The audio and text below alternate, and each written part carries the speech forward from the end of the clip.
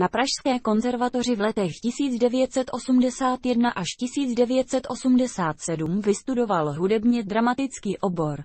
Již během studií ho režisér Karel Smyček obsadil do nezanedbatelných rolí v seriálu Třetí patro, či filmu Proč. Po ukončení studií hrál v různých divadelních souborech.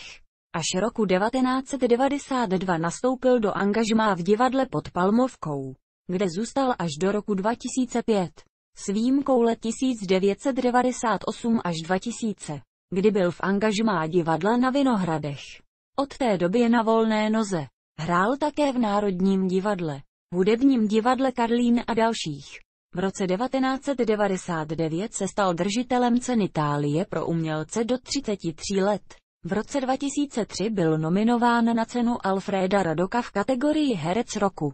Na Českého lva byl nominován v roce 1999 za herecký výkon ve vedlejší roli ve filmu Návrat idiota. V roce 2006 pak za herecký výkon v hlavní roli ve filmu Pravidla lži.